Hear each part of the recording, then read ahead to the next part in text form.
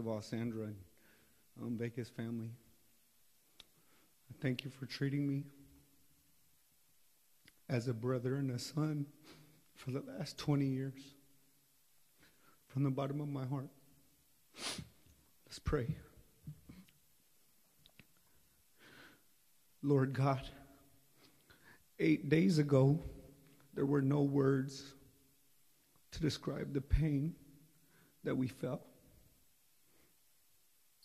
Today, there are no words to proclaim how awesome and how honored we feel to have known and loved Gus Vegas. Nobody's going to be able to get through this on their own, and we're very thankful for the help that you've already provided and the help that's on its way. It was told to me once that you'll know how a man lived his life by who shows up to his funeral. God, we all can see today how Gus Vegas lived his life.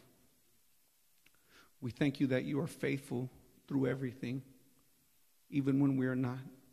And we are totally trusting on you to get us through not just today, but every day after this.